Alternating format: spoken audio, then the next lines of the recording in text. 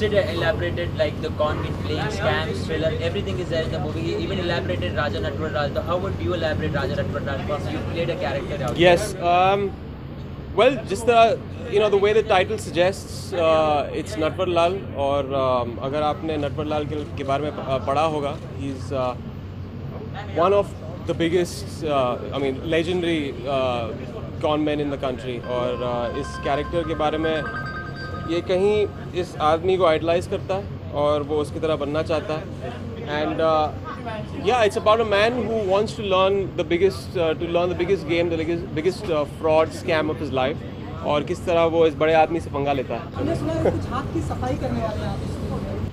जी definitely हाँ actually character तो वही है हाथ हाथ की सफ़ाई का आर्टिस्ट है और uh, एक फ्रॉड है एक स्मॉल टाइम फ्रॉड है और जो uh, पहली बार अपनी ज़िंदगी में एक uh, जो बड़ी चार सौ बीसी करता है और किस तरह वो एक बहुत बड़े विलन से पंगा लेता है फ़िल्म में।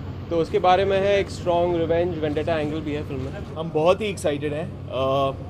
The film releases on the 29th of August और uh, हम बहुत ही खुश हैं। uh, अभी we'll be going into the promotions now in the next few weeks and very very excited and I leave it to Kunal because he is the director who is been with the film from the inception leave it to him to tell you how the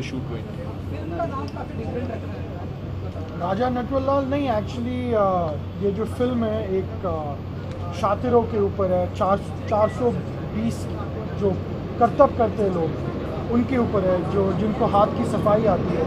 और ऐसा देखा जाए तो हमारे देश में जो सबसे मशहूर कॉन मैन थे, वो थे नटवरलाल। इतना कि आजकल वो एक निक नेम हो गया। जो आदमी कौन करता है, लोग बोलते हैं कि यार वो नटवर लाल है। तो और कैरेक्टर का नाम जो है फ़िल्म में राजा है तो that's why the title Raja Nagar तो है बिल्कुल हाँ मतलब फ़िल्म का जो कैरेक्टर जो हीरो है वो हाथ की सफ़ाई में हाथ की सफ़ाई में अ, अ, क्या बोलते हैं टैलेंटेड है और छोटे कॉन्स जो है वो करता है वो पे, वो एक पैदाइशी 420 है।